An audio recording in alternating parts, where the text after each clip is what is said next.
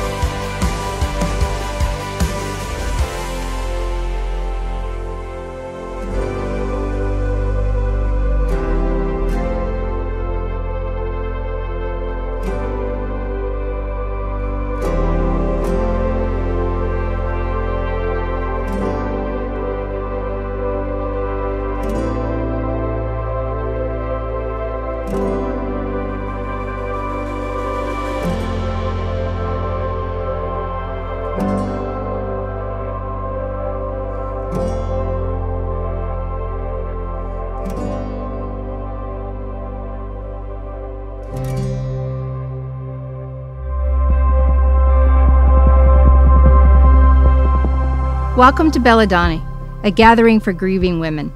For those of you who don't speak Italian, like me, Belle Donne means beautiful women, and that's who you are.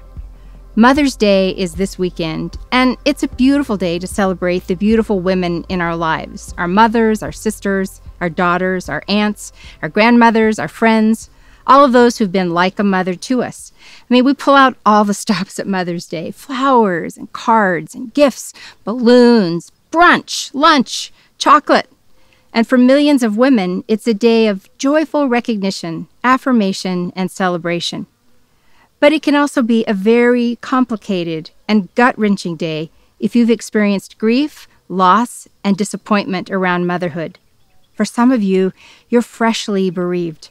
This is your first Mother's Day without your child, without your baby, without your mother or your grandmother. It's the first time Mother's Day has rolled around since your miscarriage, your unsuccessful fertility treatment, since you placed your child for adoption, since there's been an estrangement between you and your family. And for some of you, it probably took every bit of resolve that you could muster to even tune into this event. Your tears are close to the surface, or you're numb, your heart just a bit frozen by grief so deep you don't even have words or emotions that can describe it. Maybe you've grown a thick layer of protection over your heart because you haven't yet had the opportunity to become a mother, and you've just gotten used to toughing it out the second Sunday of May every year. The complications around motherhood can make some women feel less than beautiful, less than fully a woman, less than a complete and whole person. Not every woman watching feels that way, but I know many that do. And Belle Donne is for each of you to remind you that you are a beautiful woman, just as you are. And this event is to create a safe place for you to bring all of your feelings and to join other beautiful women in shared sorrow and hope. Isaiah 61 3 summarizes our prayer for you. To all who mourn in Israel, he will give a crown of beauty for ashes, a joyous blessing instead of mourning, festive praise instead of despair. During our time together, you're going to hear from beautiful women who have experienced grief around motherhood. And each type of loss has its own language, its own complexities, and its own unique pain. And because each woman's loss is her own, she's going to have her own way of expressing it. And we're not here to evaluate someone else's pain or loss or compare our losses to theirs. I'm not saying that my grief is like your grief or that yours is like mine. We're not comparing whose sorrow is worse. We're just here together saying, we hurt, we mourn, and we need comfort from God and from each other. Some of the places that we're going to go in our stories are delicate and tender. Grief is sacred ground. Because of that, the organizers have spent a lot of time praying and processing together. And you guys, the truth is, we might mess up. We might say something that is triggering or insensitive or offensive. And if so, please forgive us ahead of time we really have spent a lot of time trying to be as sensitive and compassionate and tender with your hearts. But because we're attempting to include so many types of losses and struggles, we might get it wrong. Please know it's not our intention. You're going to hear some songs from those who have suffered and those who are compassionate allies of mourners. And my prayer is that each song you hear will speak hope and comfort to your heart. Let me tell you my story. Mother's Day used to be one of my favorite holidays every year. I loved the way my husband and my children pampered me and spoiled me. And it was always fun to see the competition at church for the bouquets of flowers for the oldest mother. But now, it's a mixed day for sure. Because of deep grief that combines with deep joy that I get to be with my surviving children and grandchildren, but it sure creates a strange mixture of emotions. And I'll bet it's that way for some of you as well. This is the first Mother's Day without my precious mom, who died February 28th after 10 years of living with Alzheimer's disease. She died in my home while in hospice care, and I miss her so much. I don't know what it's like to be in this world without her. She was 96 and I'm 66. So that means for a very long time, my mama has been a part of me. Alzheimer's is a cruel disease, causing a person to slowly die by inches. It's this incremental decline that is heart wrenching to watch. And while she knew me to the end most of the time, the mother who mothered me disappeared years ago leaving someone who looked and talked like my mother, but who only occasionally acted like my mother. Still, in her dying days, her whole being lit up with exuberant joy the time I said to her, Mama, you're going to see Jesus very soon. She gasped and she raised her hands toward heaven. She said, The King, the King is coming. I'm so grateful that she loved God and His Word. She spent her life loving Him and telling Him so. Mama, soon we'll be together again. It's my eighth Mother's Day without my son Matthew, who took his life April 5th, 2013. That was the hardest day of my life. Even though Matthew had lived with serious depression for more than 20 years, Nothing prepared me for the day he died. I collapsed to the ground where I sobbed for hours, unable to move, completely unable to absorb the fact that he was gone. In many ways, losing a child has altered me forever. There is Kay Warren before April 5th, 2013, and there is Kay Warren after April 5th, 2013. I can never go back to the person I was before Matthew died. That woman, that person is gone forever. When people ask me, How are you? How have you survived the suicide of your son? I've struggled to find words that could adequately describe how I'm doing.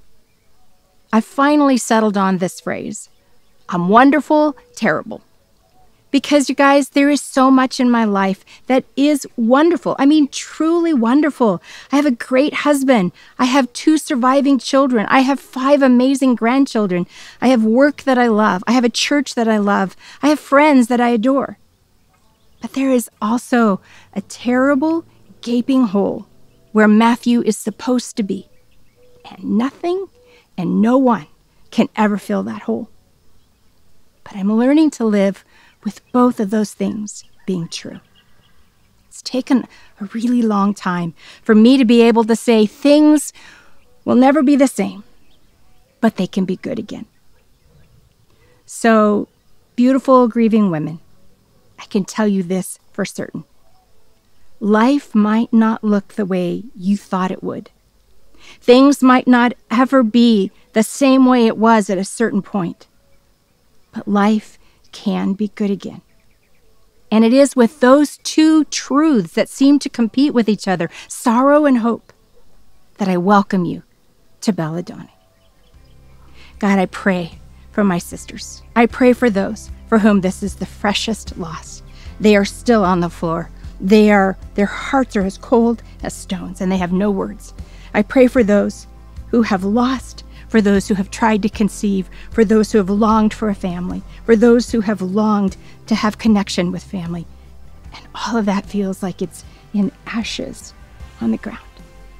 May this time that we spend together be the beginning of the belief that life can be good again and that you will give beauty for these very strange ashes and that you will put a song in our mouth when right now all that we can find are bitter words. Pray, God. I pray for our hearts. I pray for the tender hearts of women who are here listening. I pray that they'll walk away feeling closer to you and closer to each other. And in Jesus' name, I pray. Amen. We have had quite a significant loss, as I know many people have uh, during this season for a number of different reasons. But it was just about four months ago or so that my mother, um, who is the mother not only to me, but my three siblings, she went home to heaven to be with the Lord. It was only about nine months before that that we found out that there was a very rare um, cancer that had sort of ravaged her body, kind of appeared out of nowhere and was everywhere all at once. And we just did everything that we could to support her and walk with her, to do whatever we could medically and through holistic remedies to try to beat back the disease. Um, but ultimately, despite the fact that we were praying for the Lord to do a miracle and to eradicate the disease, ultimately, it took her to be with heaven, it took her to heaven to be with the Lord. The great thing is, though, that God answered our prayers still. And I know it sounds a little bit cliche to say that, but I feel that. I've heard other people say it, and now I really feel that. I feel that there were only ever two answers to our prayers. And it was either that she was going to be healed here on earth or that she was going to be healed and in heaven. The answer was always going to be yes. It was either going to be a yes here on earth or a yes in heaven. My brother preached at her uh, funeral services and eulogized her. And that's something that I will never forget that he said in her eulogy that either she was going to be with family or she was going to be with family. Either way, it was a yes. Either way, because of heaven and because of Jesus, we win. And I've just heard that before from other people.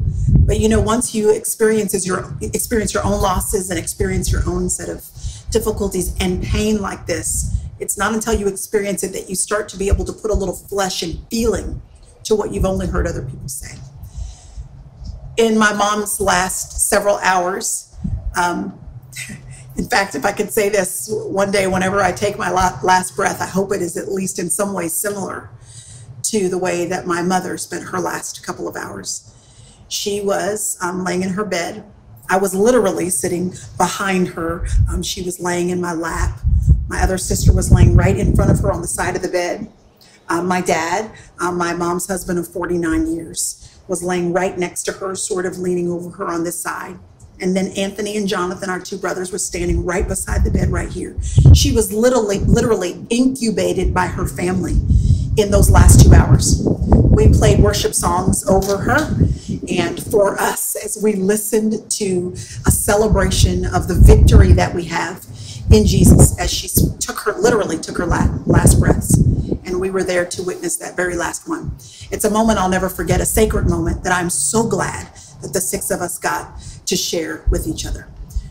How have I dealt with my grief? That's one of the questions that um, Ms. Kay put down on the paper for me to answer. And it's a tough question because, to be honest with you, in our family, it's been one thing after another that has happened in such quick succession. We've actually had seven losses in about two years. And then, right on the heels of my mother passing away, I had to have a major surgery. And now, with everything that's happened in our whole world globally, the coronavirus, I don't know that I've had a chance really to process fully yet. And I know it's going to be an ongoing experience, but I don't I would have to describe my grief right now as a little bit numb. I feel a little bit numb.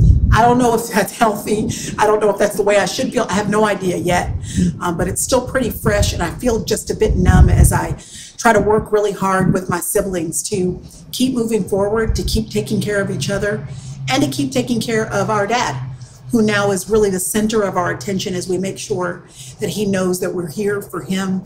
And we want to take care of him in the way mom would making sure he's eating healthy and and all those good things. So our time and our energy is kind of consumed right now with everything that's happening on, in the globe and then everything happening in our homes and then with our dad. So i feel a little bit numb. And now i can understand when people say that they feel that way after losing somebody that you're not sure you're processing it right or not. I don't know but i bet that this too is going to be a part of the grieving process that the lord is allowing me to go through for reasons i can't quite see right now but that I will be able to later on. Either way, I'm grateful. And one thing that my mom said that I will never forget, she said to us several times throughout the nine months that we shared with her at the end of her life. She said to us, whatever you do, stop and smell the roses. As you go through life, just keep pausing to smell the roses. In fact, she would say often if she could go back and do some of her years again, she would have done that more frequently. She would have just paused to take in the beauty of life, to celebrate her family, to just rest. So that's what a lot of us in our family are doing now because my mom sort of encouraged us to. And every time I see a rose, I'm reminded of that principle that we only get one opportunity to walk, one opportunity to walk through this life. And so To stop and smell the roses some more, spend some time with my husband, my dad, my siblings, my kids, just sort of engage in each season of life, knowing that it's going to change. We're going to move into other seasons and we're going to miss what we could have enjoyed while we were in it if we would have just taken the time.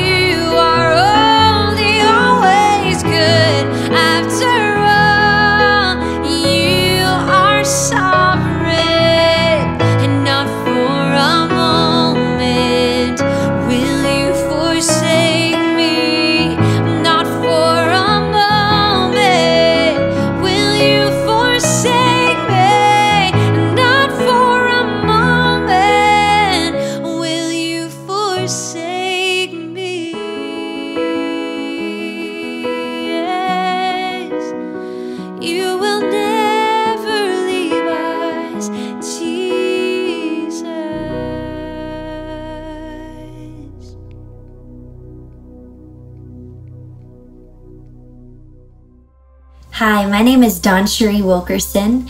I live in Miami with my husband Rich and my two sons Wyatt and Wild, and we pastor a community named VOUS Church. I'm so grateful to be a part of Belle Donne, and I'm grateful for the vision and the compassion of Kay Warren. I know that Mother's Day can be a very tender, sensitive day in the hearts of so many women because I've been there. For eight years, my husband and I, we went on an infertility journey. We've been married for 13 years now, but for eight of those years, well, I experienced a lot of Mother's Day where you walk into church and you feel like there's a spotlight on your empty arms, and you're fully aware that the prayers that you've prayed haven't been answered yet. And it's in the waiting that I believe that we discover who God is and who we are, really like no other season. As I look back over the eight years of, of waiting, of going to countless doctor's appointments, tears, lots of fall, lots of tears that fell. Well, if I'm honest, I wouldn't take one of those days back. Because the waiting season, when entrusted to God, can establish something permanent in you that you carry into every single season after it. And waiting seasons, well, we've heard it said lots of times that it's not a wasted season. But what I would encourage you with is a scripture that I leaned on a lot Isaiah 40, 31. They that wait upon the Lord shall renew their strength. They'll mount up with wings like eagles. They'll run and not grow weary. They'll walk and not faint. Often, when we're waiting, it feels like we're at a stop sign. It feels like nothing is happening, that God is not moving. But I discovered that when I can't see God moving, it's probably because He's doing a very deep work inside of my heart. And He did that over those eight years. It took me a full year to even tell my parents that we were walking through infertility. I was so insecure and afraid to be labeled with that label of infertility. It took me six years to share it publicly. What I discovered six years in, and I'm thankful for the Holy Spirit who's patient with us and teaches us. His timing is perfect.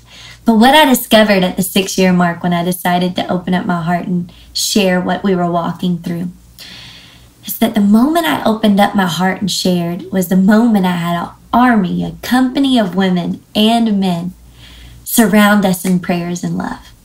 And those same people that prayed with me for another two, three years that God would bring a miracle. They were the same people on the other side of the miracle celebrating when our first son, Wyatt, was born.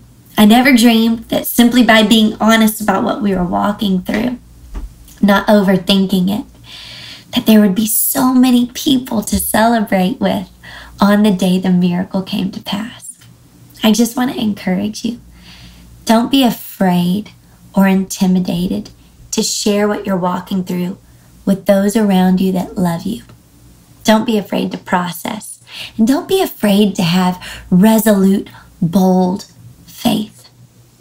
I noticed that there were a lot of chat rooms and a lot of chatter around infertility that centered around negativity on the burden that it was of the doctor's appointments and the annoyance of having a calendar for your love life with your spouse or the annoyance of your spouse not understanding it. I had to back away from all those conversations and go, you know what?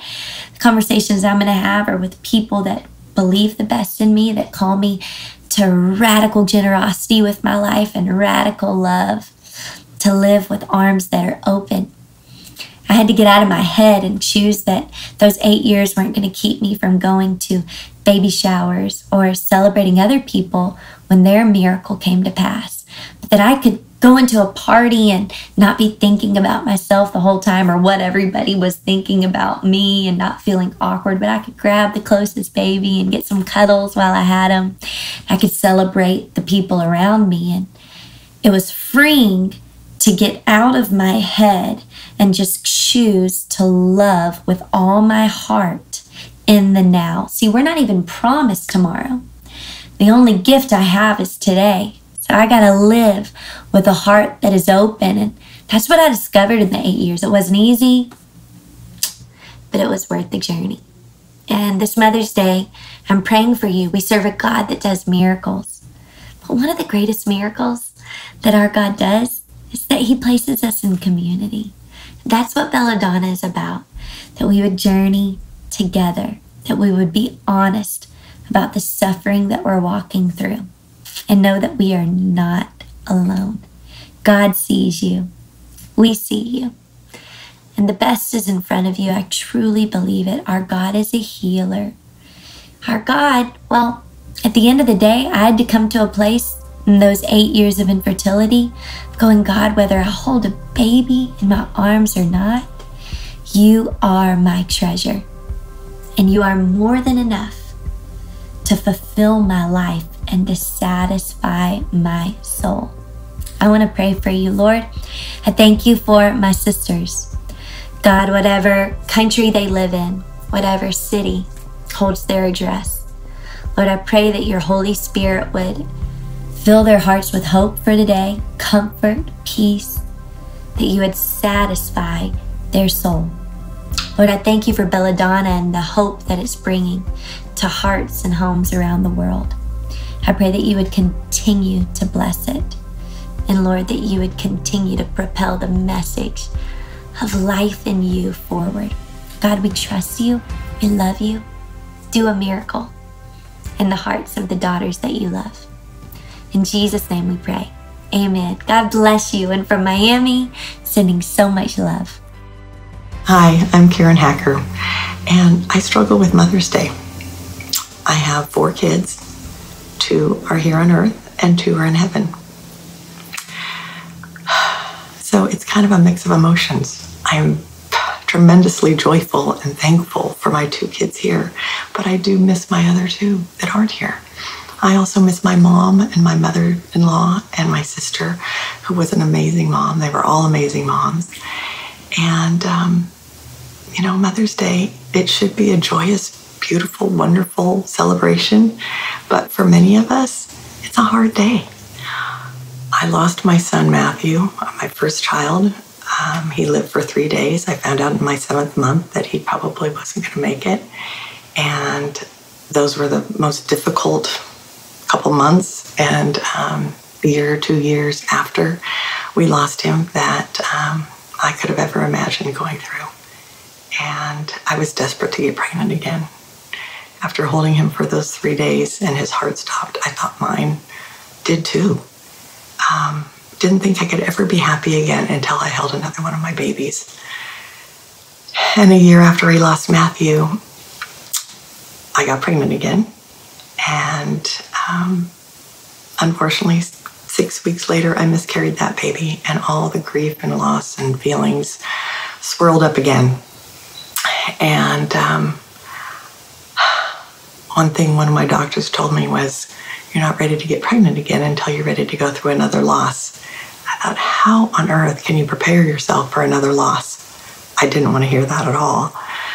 Um, but for me, my desire overcame my fear, and we tried again and got pregnant again.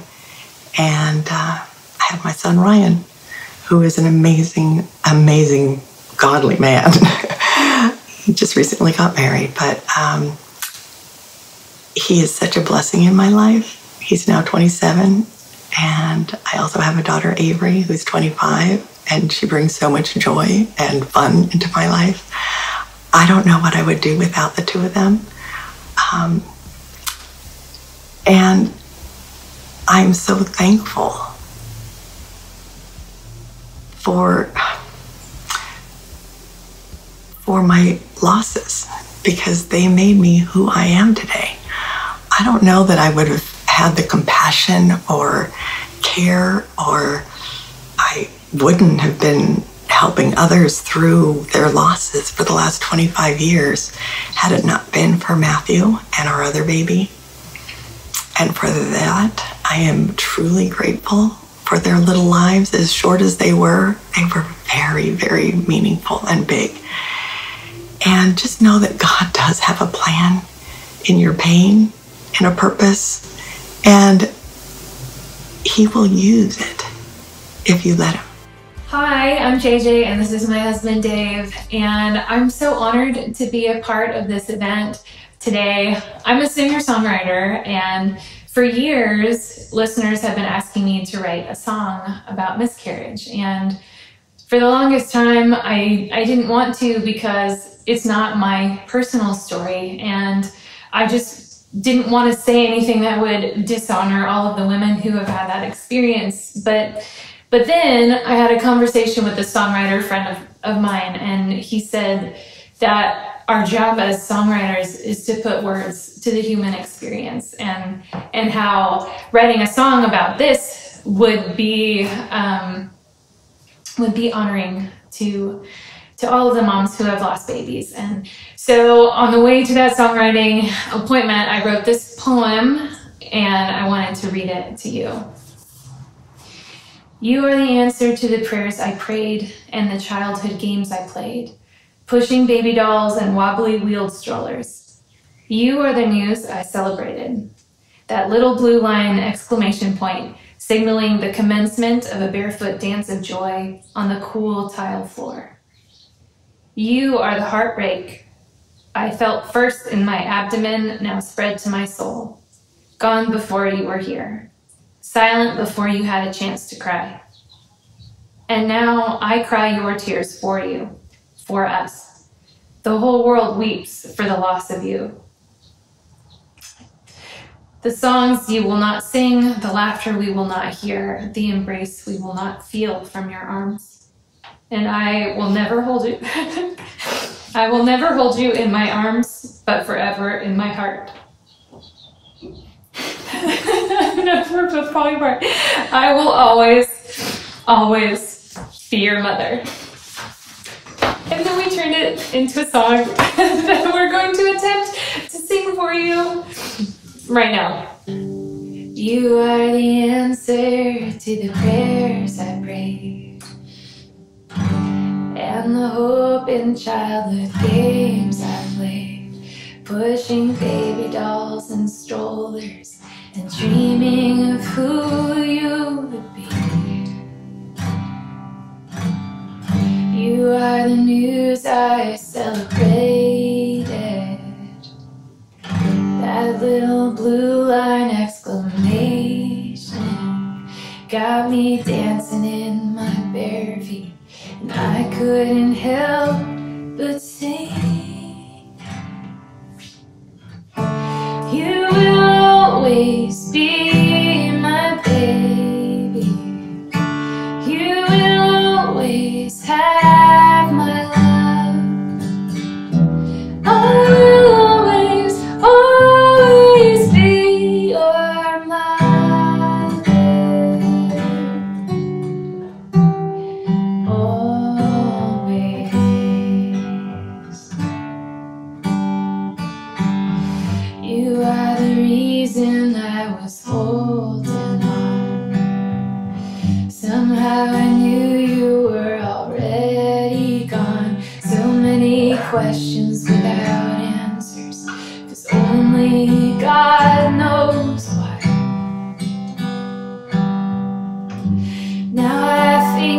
cried a million tears for all the laughter we will never hear. We lost you in the silence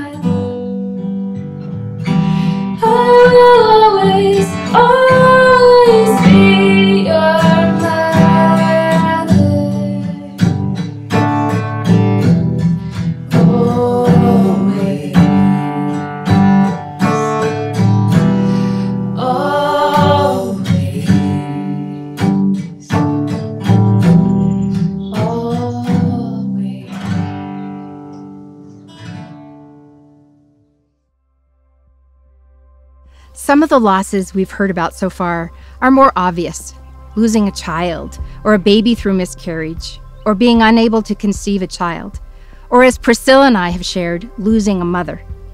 But some of the other grief points around motherhood might not be quite as noticeable, and therefore they remain hidden and unacknowledged. They're no less real and painful. I'm thinking of those women who place their baby or child for adoption. I'm thinking of women who've had abortions. I'm thinking of women who are estranged from their families due to conflict or abandonment. I'm thinking of single women who would very much like to be married and have children, but for whom that has not yet happened. These women don't always feel like Belle Donne, like beautiful women. But I want you to know we see you today, and we add your sorrow to ours. I want you to listen to Latasha Morrison's story. Just to give you a, a, glimpse into my personal life, I am single. I am have never been married and I don't have any children. And so as we approach Mother's Day, I know that can bring a lot of anxiety for a lot of people for a lot of different reasons. But I want to specifically talk to um, those who are single and maybe um, those who can relate that have never been married or maybe you were married but you're no longer married. Um, working in the church, I tend, as I kind of grew up in ministry, uh, we tend um, to focus on making sure that um, the students that we're working with are celebrating their parents or doing something special for Mother's Day, giving out roses or having a program or having someone speak, you know, so that um, for a lot of years, my focus um, tended to be in that um, way as it related to ministry. But as I've gotten older, um, that day has, has changed. I think sometimes if I'm just honest and really vulnerable, as you, as I've gotten older, you can feel a little bit of some kind of way, you know, wondering like, okay, God, when is you know, am I ever going to have children or all these different things? But I think one of the things that has, has really been a reality reality for me for the last few years have been um, that it doesn't mean that I have to birth the child to be mothering. And I think that's important for those that are single. There's a lot of children um, and um, that I have mothered over the years um, that celebrate me. And so, what I would really want to for you to tap into um, this Mother's Day is, you know, is how can I celebrate other women? And one of the things that I do is because when I'm thinking, feeling um, this way, I think about other single women and maybe how they feel, especially single women who have children, who um, who are not married, or single women that need the reality of, you know, you're still mothering in so many ways, whether it's your godchildren, whether you have nieces and nephews, whether you have neighbors that you take you take up time with, um, you are mothering. And so one of the things that I do at Mother's Day is I make it um, you know, a habit each year that some of the single mothers in my family that I send them a note, a message, or a Starbucks gift card.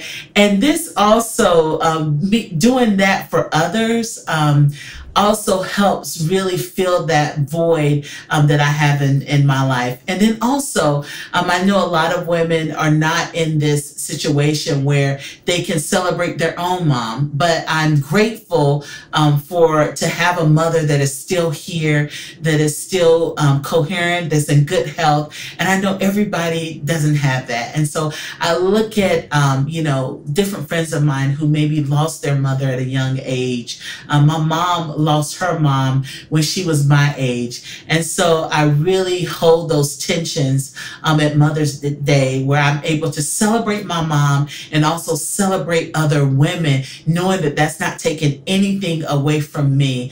Um, and then one of the things that I would say is be honest with your friends, be honest with your feelings. Don't feel like you have to hide or feel ashamed that you feel left out of that day, but express that to your friends. And I remember um, my friends were the ones that reminded me that you too are mothering. And that was life giving for me um, on that particular day where my friends send me messages, um, Happy Mother's Day because you're mothering a generation, or um, I, my goddaughter sends me a Mother's Day card. Those little touches, those little things um, mean a lot. And so if you are a mom and you have single friends in your life, or you have, you know, moms that, um, that are divorced or widowed. Um, make sure that you remember them this this year on Mother's Day um, and reach out, whether it's a phone call, whether it's a text, whether sending a, a gift card, um, just to remind them of how they're mothering. And one of the things I like to look is is just how um, we're supposed to celebrate each other. And the reason why we're doing that is we're imitating what Jesus did. And because Jesus he saw all women. So whether you were a woman that was, um, you know, that was had health issues, whether you were a woman that were um, that had an issue of blood or had been shamed, or had, you were a woman that was mourning or fearful um, or rejoicing, um, Jesus saw every woman that he encountered, despite any condition that she may have been in. And so, what I would tell you to do as mothers and as women is to learn to celebrate each other no matter what season of life you're in, no matter what condition, is that if we see each other, we know that we are connected and that we belong to each other. Hi, sisters. I'm Timmery, and I'm a worship leader at Saddleback Church, and it's a joy to be here with you. I join you today as one of you three years ago, I miscarried our first child. And while everybody's story is different, I'm familiar with the disappointment and the grief that comes with losing a child. You know, there's nothing quite like worship in times of pain to wash over us and comfort our hearts. There's nothing quite like the right song that says the thing your heart has been wanting to sing that words themselves couldn't.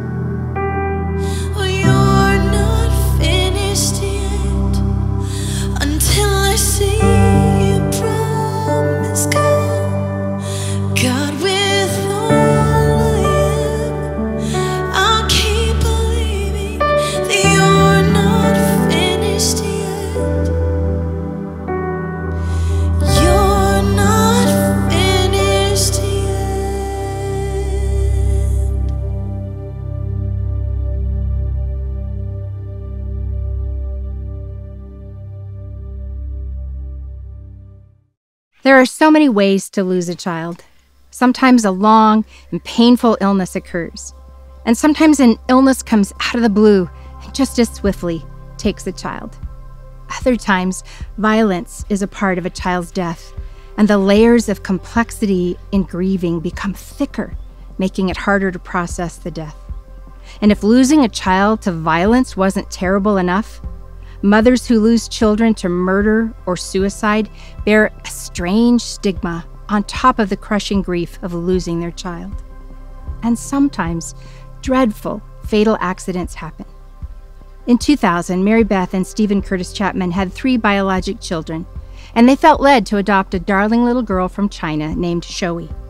Over the next couple of years, they went back to China and they added Stevie Joy and Maria Sue to their growing family. But in 2008, there was a terrible accident involving their teenage son, Will Franklin, and Maria Sue. Listen to Mary Beth's story. Hey everybody, I'm Mary Beth. Hey, Steven Curtis Chapman here. How are you all doing? Good to we be with are you. so humbled um, that you all asked us to be Yes. part of this Mother's Day time. I would say Happy Mother's Mm. Day. However, Yes. I know that for many of you that we are talking to, Mother's Day seems to um, evoke a lot of sad. Mm. Um, just a lot of sad. And we've been asked to share a little bit of our story. Um, I know that many of you know our story because so many of you sitting in the room today have prayed for our family over the past almost 12 years now. So, um, May for us is a pretty big month. We have Mother's Day, we have our sweet Maria Sue, who is with Jesus. Her um, birthday is May 13th, always close to Mother's Day. And then her heaven day, as we like to call it, is May 21st when she went to be with Jesus, which was coming up on 12 years um, this month. So May evokes a lot inside of this mom and inside of my heart. And many of you are experiencing just loss of whether that's um, of a child, of your own mother, of a loved one, just so so much. You know, Mother's Day. I remember being a little girl, and we always got petunias on Mother's Day, and we got to bring them home and plant them at church. And it was those. it They just gave them to the always yeah. my mom Sunday, yeah, yeah. taught me how to deadhead the Yeah. bloom, so there would be more blooms.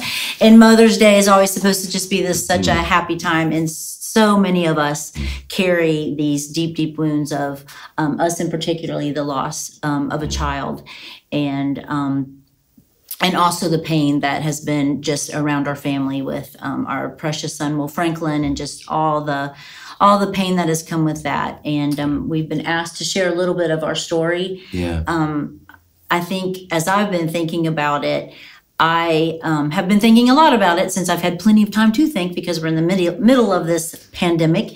Um, but Steven always, my Tigger, has always reminded me that that God is good always. Jesus is good always. He is kind-hearted towards us. He means us no harm. He is for us and he is with us. And that for me in my journey of losing my precious daughter Maria, quite frankly, seems at times comical and maddening. And I shake my fist and I just want to just you know go no that's not true. How could that be true? Um, you know my daughter is no longer with us and how is that good and right towards us?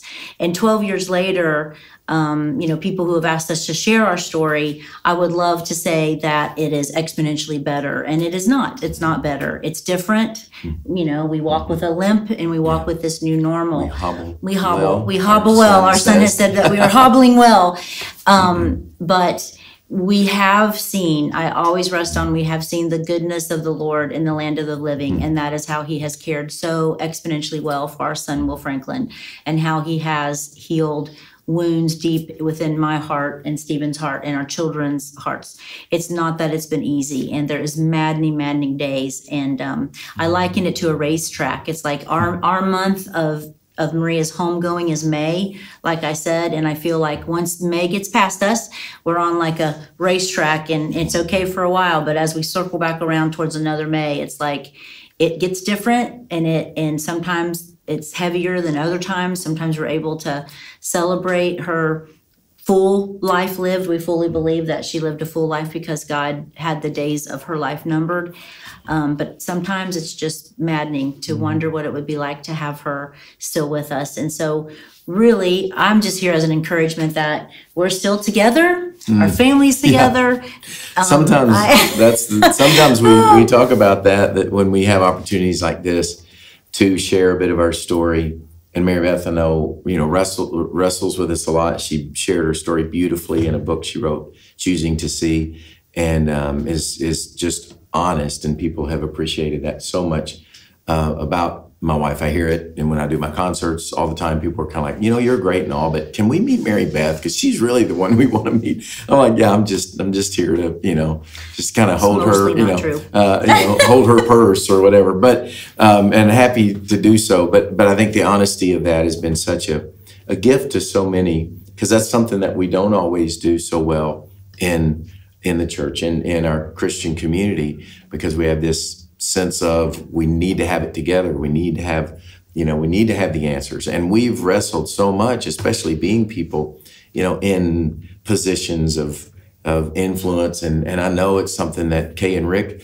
uh, have you know wrestled with of, as we've gotten a chance to share times with them and so thankful for uh, for Sweet Kay's, you know, honesty as well in, in her journey and, and both of those guys. And because I think just those, that is the reality that there's so much unanswered this side of heaven. There are answers we're just not going to get. And for us, I know for me, the Psalms became so much more real.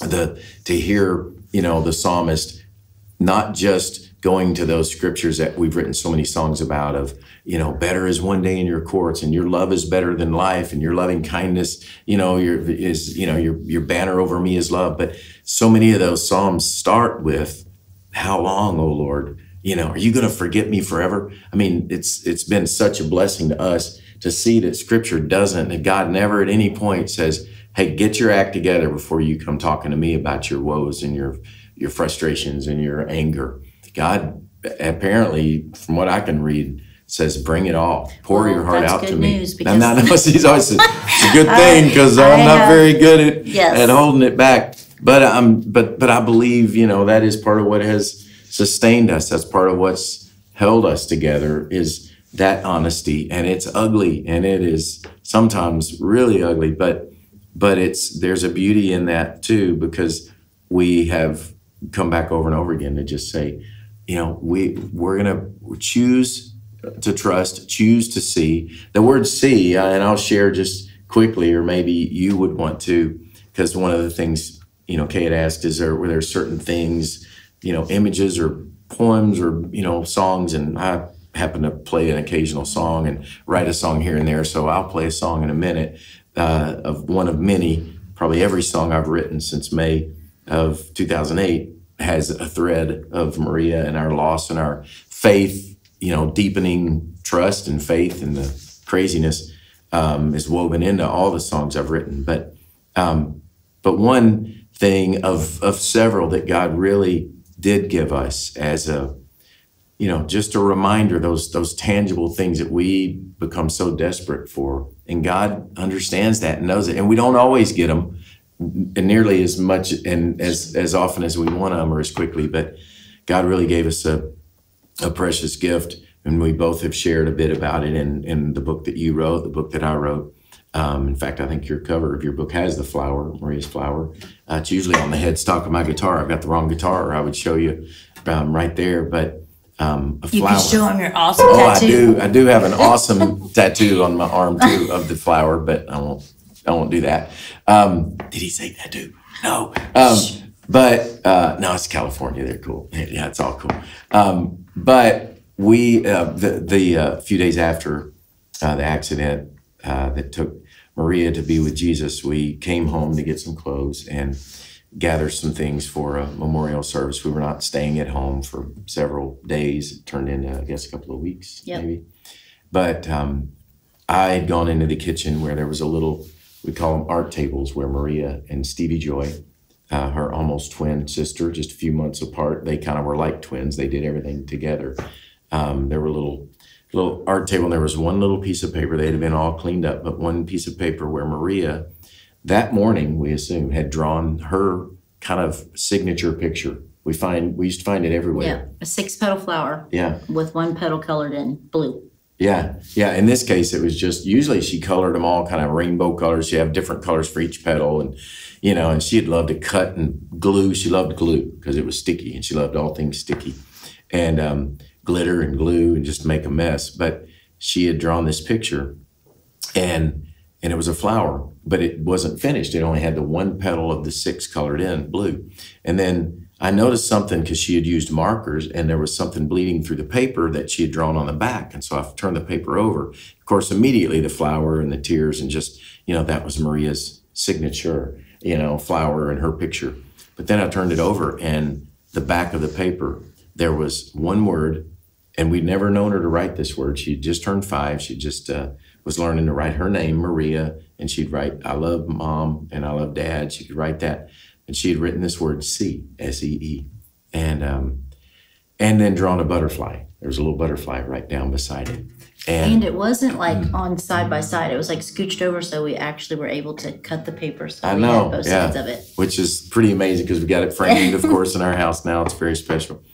But it wasn't until, I mean, immediately the word see was so powerful for us because that had been a prayer Sure. that we had been crying out to God, let us see something. Let us see something that we know about faith. We're holding on about faith, but could you just give us something tangible? Is that too much to ask that we could see something? We're going to trust you. We're going to choose to trust you, but, but could you give us something? And so for, for me to see that word and then see that flower and see the butterfly, which of course represents new life. And, and the word see, it just, it was immediately to me like I could almost hear Maria, you know, just saying as I was reading the word, see, see, you know, it's, it's just like you said, it's just like you promised, it's just like God promised, you know, I'm, I'm, I'm, I'm good. I'm better than good. I'm, I'm more alive than ever. And can you believe that? Can you see by faith, you know? And I, and, I, uh, and honestly, I took the flower too as the six petals. We have six children. Yeah, you And, figured um, this out because I, I said, wouldn't, I didn't we have see six this. children, and one pe- petal is colored in blue, and um, and her petal's finished, and so Yeah, yeah. um, we just figure she signed, "Hey, my petal's finished." She left a word C for us, and um, and we call those bread breadcrumbs, and so many little things that um, we are choosing to see that God gave us these tangible little treasures um, in in our story. And before Steve sings the song, one other really quick story is, um, it, which is it, it it is written in the book, but just such an amazing amazing story. Maria's Chinese name was Su Chung Sui, and Emily was living in Ireland at the time and was. Um, had some friends in Ireland, is what they would call Chinatown.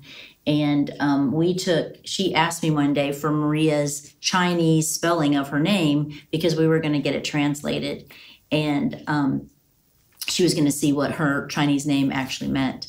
And um, as they were looking at the at the characters of her of her given name in China, um, her friends started to explain to her that um, her name literally means um, the winter is hard and frozen, but as as spring comes, you know the the water from the mountain starts to to melt and run away as as spring is coming. So basically, her friends looked at her and said her name means spring is coming.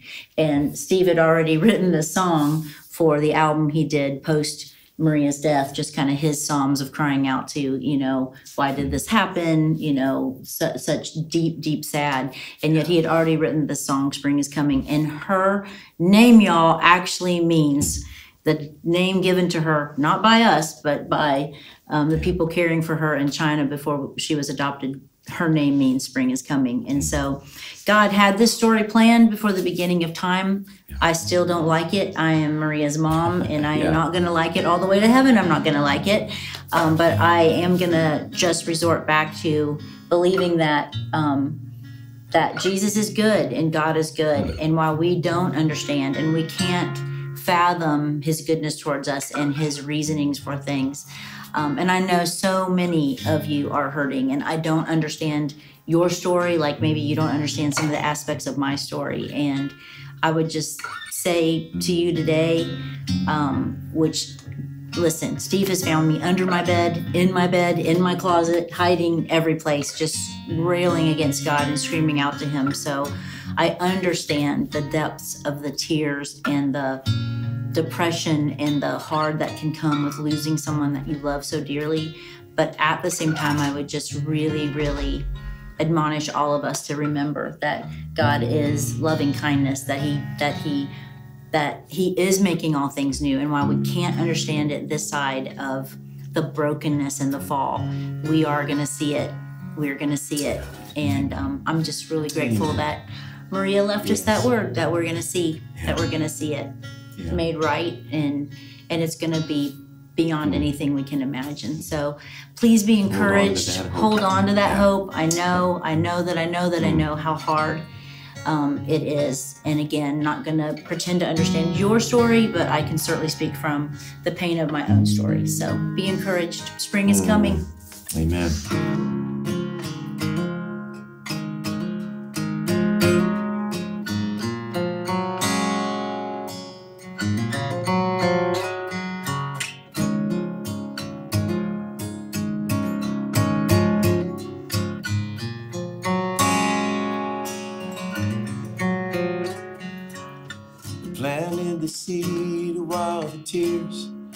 Our grief soaked the ground.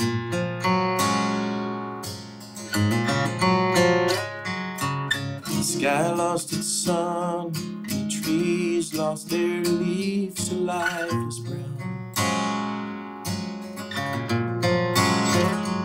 Now the chill in the wind has turned the earth as hard as stone and silent the seed lies beneath ice and snow, and my heart's heavy now. But I'm not letting go. There's hope I have that tells me spring is coming. Spring is coming. And all we've been hoping and longing for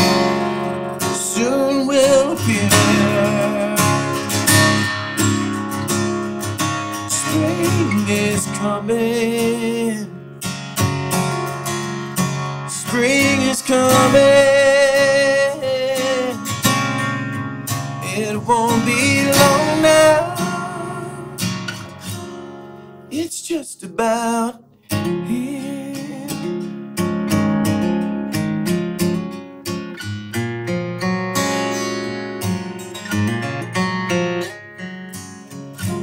birds start to sing. Feel the life in the breeze. Watch the ice melt away. The kids are coming out to play. Feel the sun on your skin. It's growing strong and warm again. Watch the ground. There's something moving. Something is breaking through. New life is breaking through. Spring is coming. Spring is coming. And all we've been hoping and longing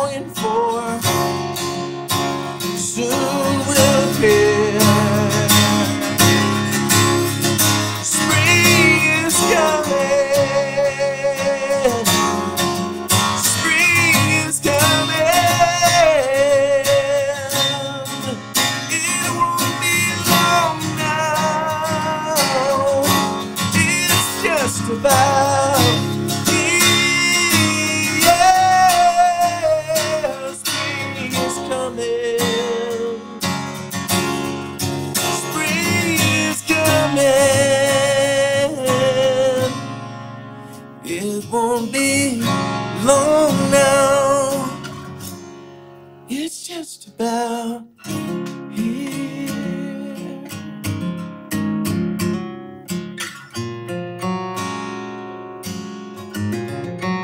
Spring is coming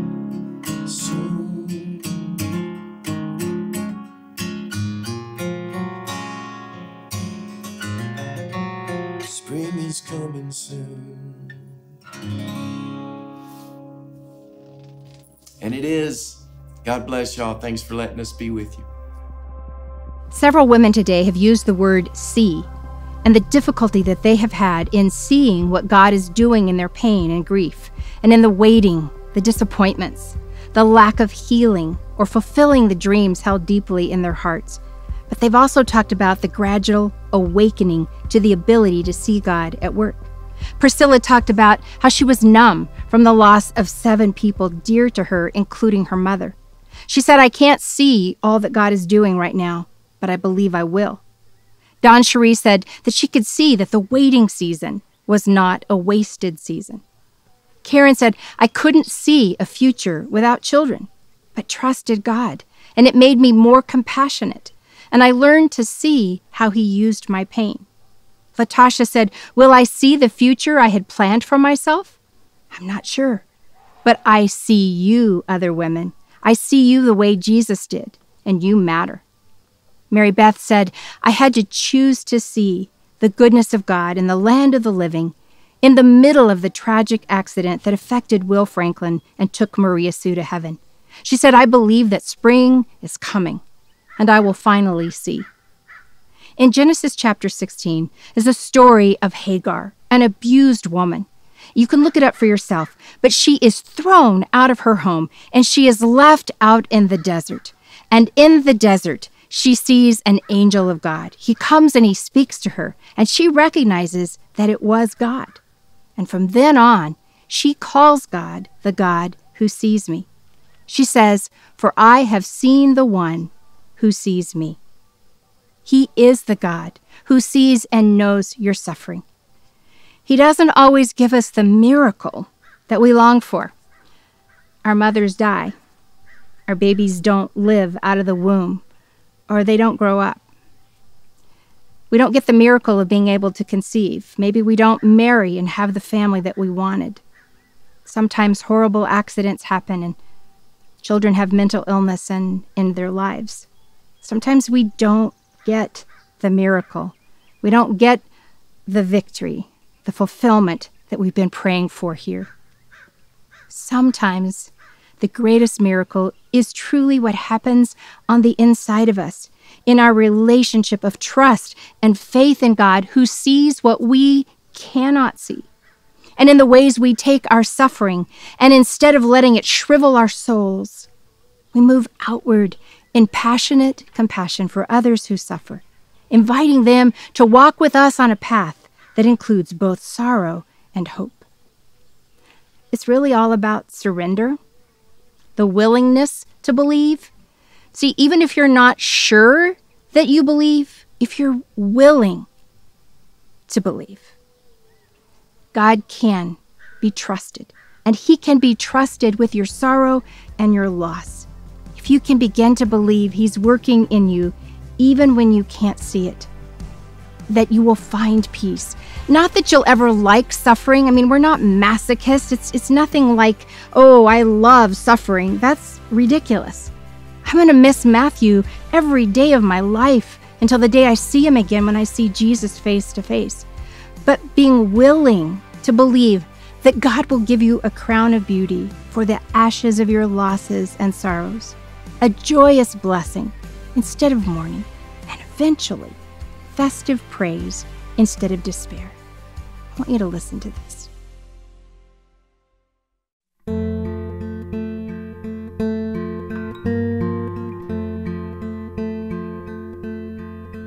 They say sometimes you win some, sometimes you lose some.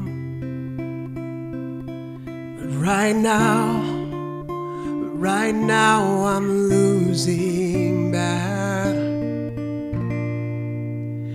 I've stood on this stage night after night, reminding the broken it'll be alright. Right now, Oh, right now I just can't. It's easy to sing when there's nothing to bring me down.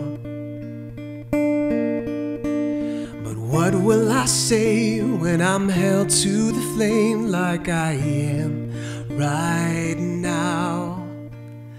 I know you're able and I know you can. Save through the fire with your mighty hand. But even if you don't, my hope is you alone. Say it only takes a little faith to move a mountain. Well, good thing. A little faith is all I have right now.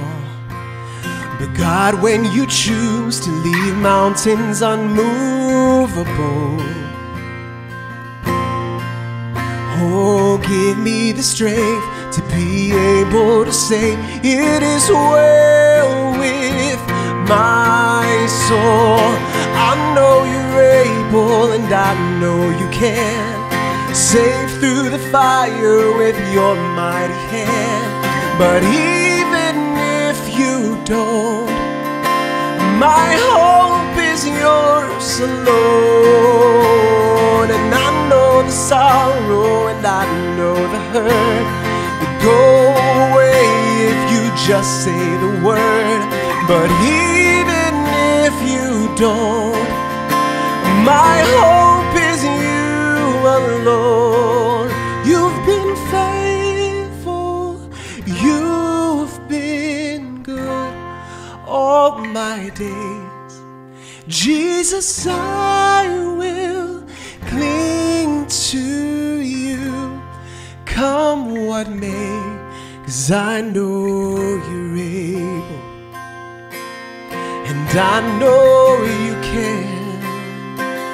Oh, I know you're able, and I know you can save through the fire with your mighty hand.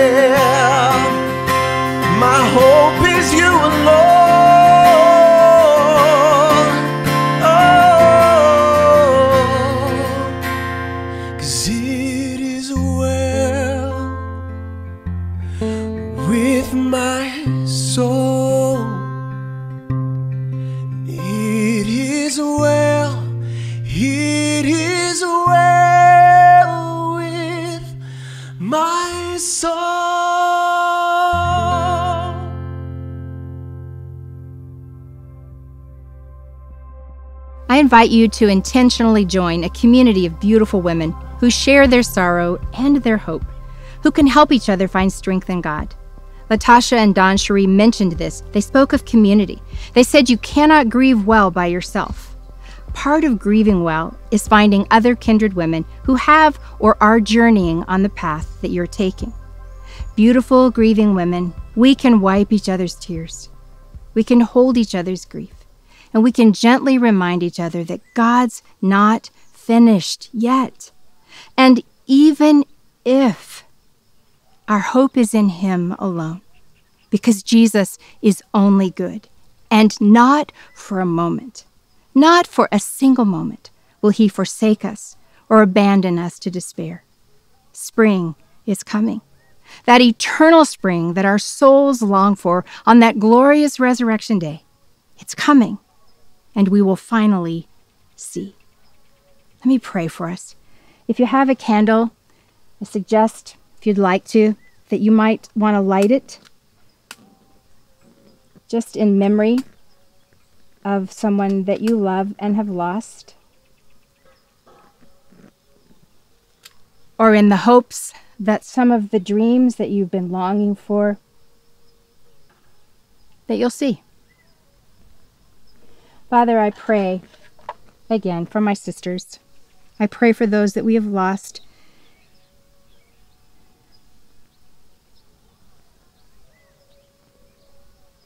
I thank you that Matthew is in your presence, that my mom is in your presence. I don't have to worry or wonder where they are. I know that they are with you. And I look forward to that day. God, I want to see. I want to see clearer than I do here. And I realize that some of what I want to see, I'm not going to see here. Help me to wait patiently for that glorious resurrection day when all sad things become untrue and all that I've, everything that I've longed for will be realized in your presence. And we use just this simple, tangible reminder to think about those that we have loved and lost. And we think about the unrealized and unrecognized dreams that we're still waiting for. And may the candle and the flickering flame remind us of that hope. You're so good to us, and we do trust you. Help us to not hold back in sharing our grief with each other, to not be ashamed of it or embarrassed by it, or feel like we should be over it or past it. I pray that we will help each other recognize that we really do belong together that we can grieve together, and that we can hope together. And I pray this in Jesus' name. Amen. To help you process your grief, we've created some resources we think you're going to find helpful. So please go to the link in the comments below. You'll find downloadable scripture cards, a beautiful bookmark that you can cut out and laminate if you want to. There's some coloring pages that, that our team has created they're not taken out of a book, these were hand created for you. There's an interactive breath prayer video and even a how to watercolor video if you would like to express your grief by learning how to watercolor some of it. There's a little how to video there for you. And there's also information for how to find a support group and book recommendations to help bring you comfort in your journey. Thank you, beautiful women, for joining us at Belle Donne.